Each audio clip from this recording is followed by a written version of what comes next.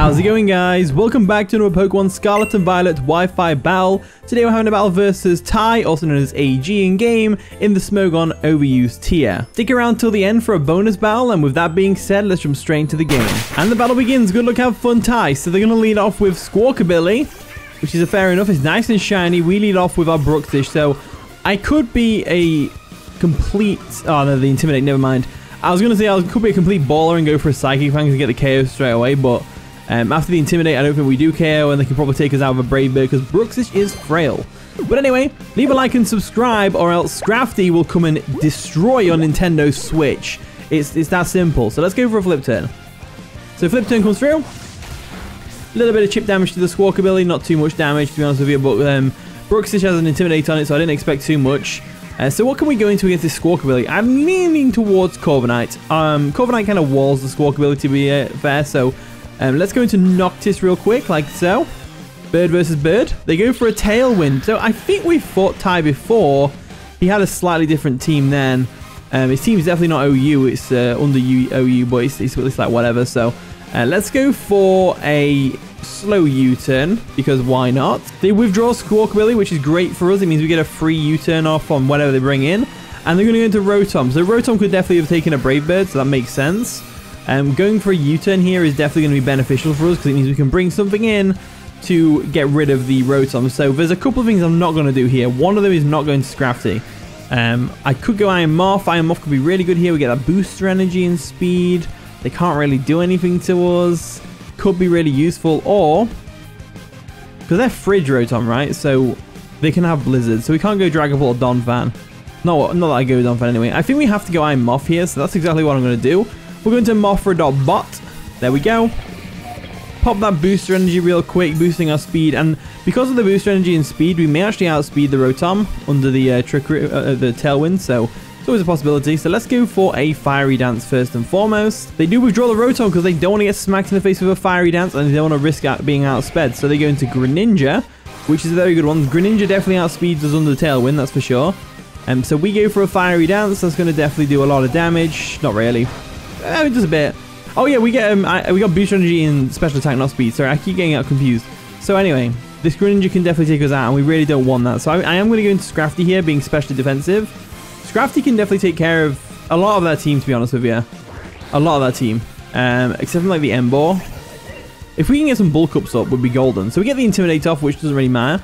They go for a Surf, which is going to turn them into a um, water type, because they are Protean. And that's going to do a decent bit of damage, to be fair. Not too bad of a damage output right there. So I do kind of want to go straight for a Drain Punch or a Knockoff. I'm leaning towards the Knockoff. So their Tailwind does pair out. Let's go for the Knockoff because they are obviously a pure Water type now. Um, so it'll definitely KO. They go for another Surf. Maybe I should have gone for a Drain Punch to get some health back, actually. Um, we go for a Knockoff. That's going to do loads of damage to the Greninja. And we knock off their Choice Spec. So now we know the next turn Surf ain't going to KO us. So Scrafty can come through now and KO this Greninja no problem with the Drain Punch. So that's exactly what I'm going to do. And they go for a Sludge Wave. I didn't even know Greninja got Sludge Wave. And that's not going to be able to KO us, unfortunately, for them. I'm guessing they were trying to get the uh, Poison, which makes sense. Um, that makes sense to go for the Poison there. So we get some health back. We KO the Greninja with Hoodlum Scrafty. I didn't even mean to say that. Oh, well, whatever. So anyway, Scrafty's looking pretty good. In comes the Squawkabilly. They probably want to go for another Tailwind here. And I'd rather not let them do that. They do get the Intimidate off, so my uh, Scrafty does need to switch out here. Um, we could still use Scrafty. It should outspeed the Goodra. and no, maybe not actually. Um, it doesn't outspeed anything on their team, but um, we could potentially still use it later. Um, or we can go for a knockoff. I'm leaning towards the knockoff. I'm leaning towards the Drain Punch. I feel like they tailwind, but if they go for a Brave Bird, they do tailwind. So if they go for a Brave Bird, if they went for a Brave Bird and took us out, it's fine. But now we go for a Drain Punch, we're going to get some health back. Even though they got the Intimidate off on us, it's still going to do a nice little bit of chip damage to the Squawkabilly. And we're going to get some health back as well as some uh, leftovers. So now we can freely use um, Scrafty however we want because we've got a bit more health back. So it can be used, for example, to wall that Rotom. Not wall it, but go for a Drain Punch for super effective damage. So I'm going to go back into Corviknight here because we do have the Rocky Helmet. So if they go for a U-turn, then that's going to work out nicely for us. But they, I think it doesn't Squawk really get Parting Shot. They probably go for a Parting Shot if that's the case. But we're Mirror Armor. They go for a Brave Bird, which is definitely not going to do much to Corviknight, that's for sure. They are going to get some mad recall with the recall from the move and the Rocky Helmet, which is always nice for us. Um, now I'm leaning towards a U-turn again. I'm going to go for a slow U-turn. They do withdraw the Squawkabilly once again because they don't want to take a Brave Bird to the face and they can't do anything to us probably. And they're going to go into Rotom once again. So this is the perfect opportunity for us. So we don't know what set this Rotom is particularly. Um, they might be leftovers. They may be choiced. They could be choiced. That's always a possibility. Um, so let's go back into Scrafty. I know Scrafty can take a Blizzard no problem from this thing, based on how much it took from a Choice Specs Surf earlier. We get the Intimidate off, and the Intimidate on Scrafty could still be useful later on in the game against the Emboar, against, um, well, the Emboar, yeah, and the Squawkabilly to an extent. So um, let's see what we can do here. I'm going to try and go for a Drain Punch. I think that's the way to go forward. They go for a Willow. So I was hoping there'd be a Choice Scarf variant or something like that that didn't have Will-O-Wisp, but you know what? It's fine. Scrafty's going to get burned. But we're still going to get some chip damage off, which is going to be great. And we get some health back as well. So we do have leftovers, which kind of negates the burn damage. But at the same time, double-edged sword, burn negates the leftovers recovery. So that's uh, unfortunate. But at the same time, Scrafty's back looking a bit healthier now, which is always nice. Um, maybe I should put Shed Skin on this Scrafty. I don't know. I don't know. I really want to make Scrafty work, but they, this, this team is just not the way to go forward. So now, I want to knock off its um, item. I don't know what item it has, but I'm going to go for a knockoff now. So they go for a Volt Switch. We're going to get a free knockoff off on something.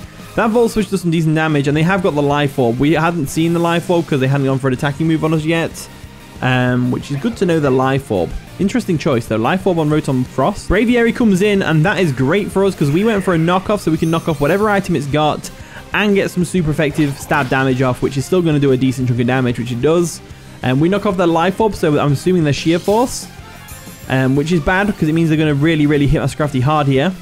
But I'm going to preserve my Scrafty because we can still use it later on. Because it is still got the Intimidate, which could be useful against the Emboar. If it comes down to Emboar being the last Pokemon, for example. So, if we assume they're going to go for an Air Slash, we should go into Corviknight, but they could go for a Heat Wave. So we have to be really careful with what, do, what we do here. So if I assume they're going to go for a Air Slash, I should go Corviknight. I think I will go Corviknight because I don't think they'll predict the Corviknight switch. I think they'll just go straight for the Air Slash try and get, out, get rid of the Scrafty. I can't believe Scrafty is actually doing something pretty useful this game. It's not like super OP or anything, but it's doing something useful. So they go for an Air Slash. They do unfortunately miss, but that doesn't matter too much. He wouldn't have done much damage. As now I'm assuming they're going to go for a Heat Wave. Um, so I should go into Bruxish and crunch this thing. I should. I think I will go into Bruxish, because Bruxish does really well here. So we withdraw our Corviknight. And if we assume they're going to go for a Heat Wave, which they probably will, Bruxish is probably one of the best Pokemon to switch in. So they do go for an Esper Wing. That's going to do no damage. And it does boost their speed. So they're not Sheer Force, they were just straight up Life Orb. Fair enough. Let's go for a Crunch and take this thing out. There we go, Crunch comes through. It's Strong Jaw boosted. It definitely takes out the Braviary. Bruxish once again showing why it's a pretty powerful Pokemon. They they stayed in there because they didn't know we were Choice Scarfed, and they didn't realize that we were going to outspeed them with our Choice Scarf, even though they got the Esper Wing and KO the Crunch. Rotom comes in. Rotom's a good switch. It can burn us. Um, however, it does get outsped and possibly KO by the Crunch. So that's exactly what I'm going to do. I'm going to go for the Crunch real quick. Bruxish may be MVP again. Um, if this is the case, but I don't think it will be. You go for the Crunch, it might not actually KO. It does KO. Nice. So Rotom Frost goes down. The reason I didn't think it had KO is because we're Choice Scarfed and it's not Stab. In comes the Squawkabilly, which is cool. Squawkabilly's is a fine choice. Gets the Intimidate off, which is going to be useful for the uh, Bruxish, that's for sure. Um, now, I'm, I'm, assuming they're going to switch out here. They, they, probably know we're locked in. They could easily go into Emboar, to be honest with you. Um, but I'm going to go for a Crunch anyway and see what it does. They do stay in. Crunch comes through, takes out the Squawkabilly. There we go. So Squawkabilly goes down. Bruxish pulling in its weight again. You know, Bruxish is actually a really cool Pokemon with its strong durability and the Psychic Fang stab move. Pretty awesome. So, Goodra comes in. Very good choice because it can definitely take us out. I don't want to stay in against the Goodra. I kind of want to just sack off Scrafty. Or... Hmm... I think I will sack off Scrafty. That's probably the best play. So we'll switch out. We'll go into Scrafty. There is a chance we live the Draco Meteor purely because we're... um especially defensive, and we have really good defenses and stuff. So we get the Intimidate off. They could be physical as well. They go for a T-Bolt, which isn't going to take us out, unfortunately for them. Um, and we do get that leftovers recovery, but that is uh, once again negated by the burn. And um, so that is unfortunate. There is a chance we outspeed here as well, depending on what set they are. Um, it really is a chance that we could outspeed here and go for a knockoff.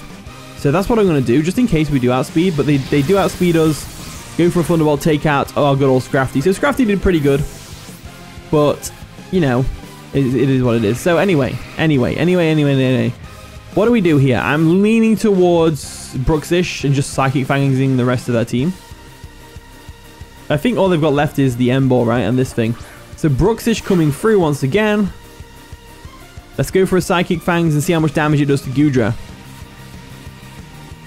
Psychic Fangs comes through. Clean to it KO. They are gooey though, which is good to know. And they go for a T-Bolt, which should take out Bruxish. So that's unfortunate that Bruxish had to go down. But severely weakening the um, the uh, Goodra was pretty useful there. That's for sure, because now Dragapult can come in, or Moth can come in and probably finish this thing off. So um, I want to go Corviknight, or I want to go Donphan. I think I'll go Donphan. I think I will go Donphan. So in comes Michelin real quick. We just go for an EQ here. They actually have Surf on this thing, which is pretty cool. That's going to take us down a little bit. We go for an EQ though. That's going to definitely take out the Goodra from there as down it goes. So now we've just got the Emboar to deal with, I believe. We took out that, we took out that, we took out that. Yeah, we took out everything except from the Emboar. So Emboar is coming through. Emboar could, depending on the set, pull back here, which is good to know. Let's go for an Earthquake, and we might outspeed, we might not. So they're going to Terastallize. So they are finally going to Terastallize and reveal what they're going to have. What type are they going to be, though? Are they going to be Grass? Electric? Why electric? Why would you do that against the Donphan? Are they are they getting the time mixed up? I don't know. Um, they go for a Drain Punch though. That's going to definitely nearly take us out. And unfortunately for them, they're going to get some Rocky Helmet chip before they take this Earthquake to the face. They'd have been better off not terroring there. As that takes out the Emboar anyway. Anyway, so I guess it didn't matter that they terrored because it would have still been weak to ground anyway. So Emboar goes down and that is going to be the game. So GG Tyler's off on one. And that was a pretty fun one. I enjoyed that. Um, it's good to see the Scrafty putting in the work there. I know Bruxish put in more work with KO-wise, but Scrafty did really well there. You know, it did its job. It did its job. And we have ourselves a bonus battle. Today we're battling versus Wimar from the Discord server in the OU tier. Wimar's also got a YouTube channel, so go check him out. I'll leave a link to it in the description down below. Let me know who you think is going to win based on the teams you see on screen right now. And with that being said, let's jump straight into the game. And the battle begins. Good luck, have fun, Wimar. So they're going to lead off with Fan Fan, the former Titan. And that's that's pretty cool, the Great Tusk there. We lead off with Iron Moth. We're going to get that booster energy in special attack, which is going to be great. Making it so that we're an immediate threat to this Great Tusk. I was actually expecting them to lead with Pelipper, um, to which I would have just gone for a Sludge Wave here, but I could just go for an Energy Ball. I think I will just go straight for an Energy Ball here because we outspeed, uh, unless they're randomly Choice Scarf Great Tusk.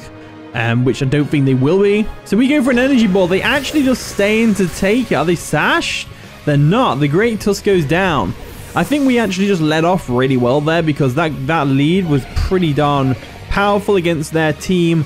Um, Iron Moth actually does work against the team pretty well. So they probably go Pelipper here. Or they go Zamazenta as well. That's also an option. So Zamazenta comes in. It's nice and shiny. Gotta love it. Gets that Dauntless Shield. Now, we do have the Dazzling Gleam, which we can hit him with now. Um, I am just going to stay in with the Iron Moth and just attack. They go for a Stone Edge, though. That's going to take us out.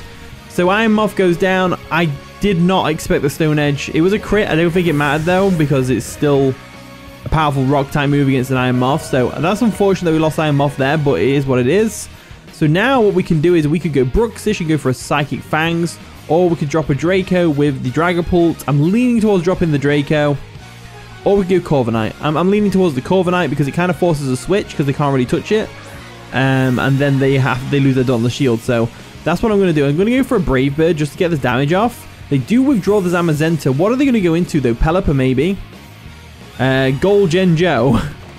That's going to be the Golden, Gholdengo. And uh, we go for Brave Bird. That's going to do no damage to the Gholdengo, but it does potentially break a Sash.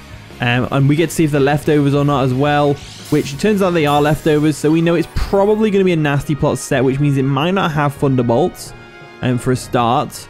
So what I'm going to do here is I don't really have the best switching other than Scrafty potentially.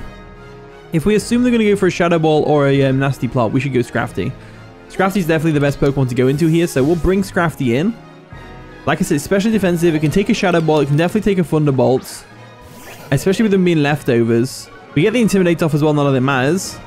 And then they go for a Thunder Wave, which is fine. I don't mind Scrafty being Thunder Wave. It's not exactly particularly fast. Um, it's interesting seeing Thunder Wave on a Gholdengo, though, that's for sure. Um, so what do we do here? I'm leaning towards the um, Drain Punch or the Knockoff. Drain Punch predicting the Zamazenta to come in. Knockoff just so we can knock an item off of something. I think knocking off is going to be really useful. So they withdraw, and what are they going to go into, though? Are they going to go with the uh, Dauntless Shield Zamazenta again? Zamazenta comes in, the Pokemon fan. I love it. Love it. So we go for a knockoff. We couldn't move because we were fully paralyzed, so they're keeping their item, whatever it may be. Probably leftovers, if I had to guess. They probably go for a body press here, so I'm going to go into Corviknight, get that Rocky Helmet chip, because why not? They actually make a double, and they're going to go back into Gholdengo, right? Nigel. Who's Nigel? The Pelipper. Okay, Pelipper comes in, gets that Drizzle up, which is really unfortunate. And we are going to switch out Scrafty, though. And now we have to deal with Ludicolo and Walking Wake in the rain. So Noctis comes back in. And what I'm going to do here is, I don't have the best switch-ins to this at all.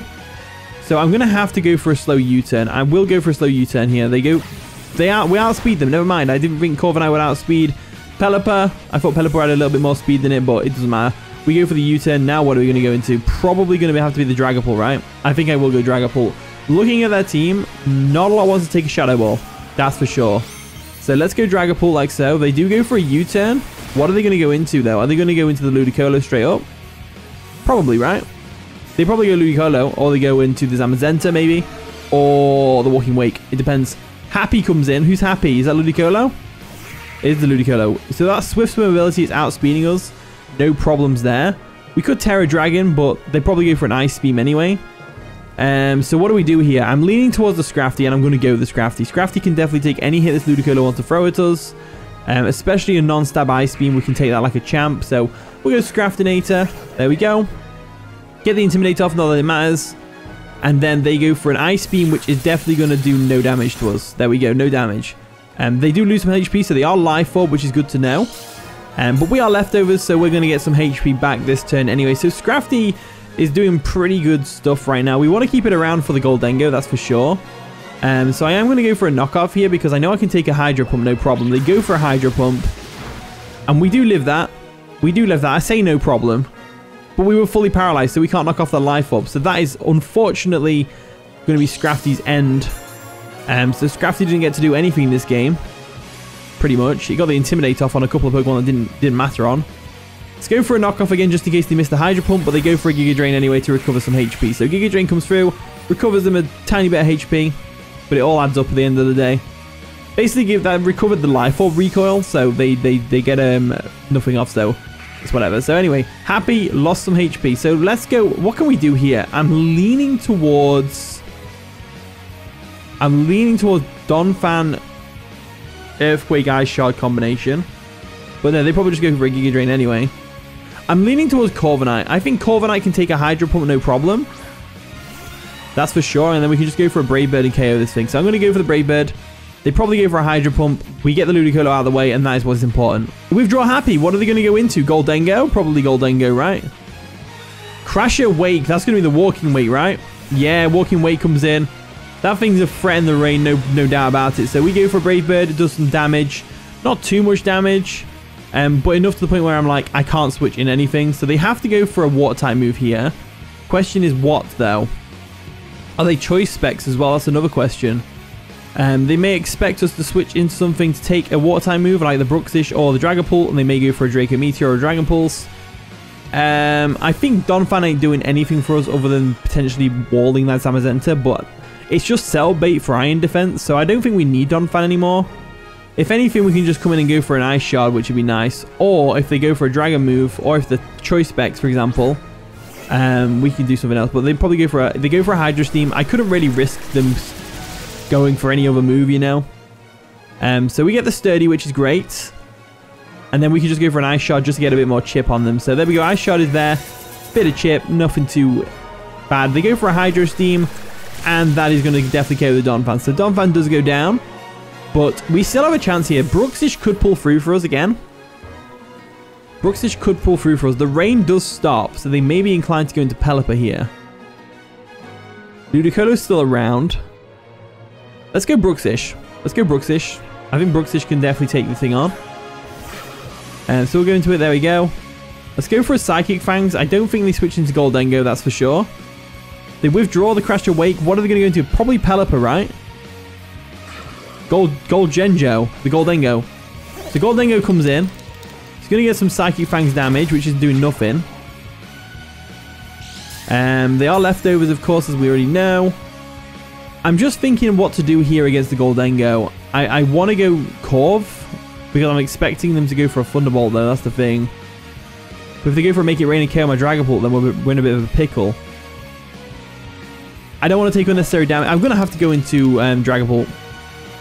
They probably go for a Shadow Ball, but I don't think it KOs. Um, so I think we're going to be alright here to go for a Shadow Ball of our own. So we'll go Dragapult like so. And uh, they do go for a Thunder Wave, which is really unfortunate. But I'm pretty sure Dragapult still outspeeds Gholdengo with the uh, next hit. So let's let's see how this plays out for us. So they Thunder Waved the uh, Dragapult on the switching, which is unfortunate. And now we go for a Shadow Ball just to see if we can get the KO. I am pretty sure that we're outspeed still, but I could be wrong. They withdraw though, so we get a free Shadow Ball off on something. Can it be the Pelipper? Nigel, that's the Pelipper, right? Yes, it is the Pelipper. Gets the Drizzler once again, which is very threatening to us. We go for a Shadow Ball. We don't get fully paralyzed, which is nice, unlike the Scrafty. And that Shadow Ball is enough to de definitely 2 KO the Pelipper, so that's great. Let's go for another Shadow Ball. We should outspeed here if they are defensive, which they might be. We couldn't move because we were fully paralyzed, which is really annoying. And then they go for a knockoff, knocking off our choice spec. So now at least we can switch up moves. Every cloud has a silver lining and all that. Let's go for a Shadow Ball again because we do outspeed. Shadow Ball comes through. Pelipper does go down, which is fantastic, but I'm pretty sure Ludicolo wins the game for them here. Um, because we can't hard switch into Ludicolo. That's for sure. So in comes Happy. The uh, Ludicolo once again. We know it's Life Orb. We know it outspeeds us. We could Tera Dragon with the Corviknight when we bring it in to take out the Ludicolo. I guess I drop a Draco here all the time. But they Terastallize, so what type are they going to Terastallize into, though? Something to take a Dragon type move, maybe. Ice? Tera Water. Okay, they're going Tera Water right now. Interesting choice. That means that they're no longer weak to Brave Bird. They go for the Hydro Pump in the rain. Life Orb boosted, Terastallization boosted, takes out the Dragapult in one clean hit. So Dragapult does go down there, which is very unfortunate for us. Um, but at the same time, it's like, whatever. So let's go Corviknight. Let's go Corviknight. Corviknight comes in. My only chance of taking this Hydro Pump is if I Tera, so I have to Tera right now. And go straight for a Brave Bird. Pretty much. So I'm going to do that. I'm going to Terastallize real quick with Corviknight. I am Dragon just so that I can be neutral to... No, so that I can be resistant to electric and fire. But also still neutral to, like... You know, other things. So, like fighting and stuff like that. Or, you know, because when you Tera Water, you're still weak to electricity, for example. They go for a Hydro Pump, though. It's not going to KO my Corviknight, I don't think. I hope not. Still does a lot of damage, though. That's a lot of damage. But after the Life Orb Recoil, this Brave Bird should finish off the Ludicolo. Like so. Oh, it just barely holds on. Barely holds on. So I... That's annoying. So let's go for a U-turn here, just in case. They go for a Giga Drain, that's going to KO us. So they're going to lose... They're going to lose enough health, I hope, from the Life Orb. Yeah, they do lose enough health from the Life Orb to where they get taken out. So Noctis goes down, but it's not in vain, as the Ludicolo will take itself out with a Life Orb right now. I hope. Yeah, he does. There we go. So that's, that's good. The Ludicolo goes down. Happy goes down. Happy is now sad. Definitely sad. That's for sure. uh, let's see how this plays out. So let's go into Bruxish. So Bruxish is a good one. So they're going to go Crasher Wake. Now Crasher Wake is an interesting choice here because Bruxish can definitely outspeed and KO this thing with Psychic Fangs problem is we've got the Gholdengo to deal with. But that, all that seems to be able to do with Bruxish is um, Thunder Wave us, because they went for a Thunder Wave earlier. So do we go for a... No, we go for a Psychic Fangs. We have to go for a Psychic Fangs here. So we go for a Psychic Fangs, takes out the Walking Wake, no problem. Um, Zamazenta could go down to a Psychic Fangs, but I think it does live one because it's just that bulky.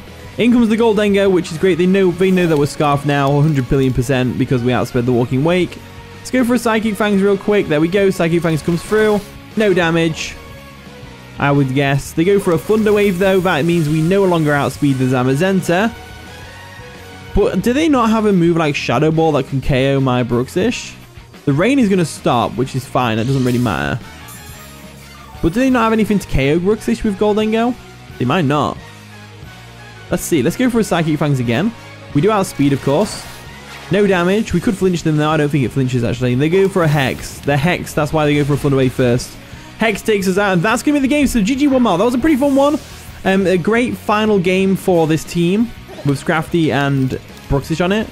So once again, I, am still debating who the MVP would be here or who the thumbnail Pokemon will be, but uh, GG Wimar, that was a pretty fun one. I enjoyed that. But anyway, here is the team. Try it out if you want to use the code at the top right corner of the screen. Thank you so much for watching today's video. If you did enjoy, of course, leave a like, subscribe, all the wonderful stuff. And with that being said, I'll see you all in a bit.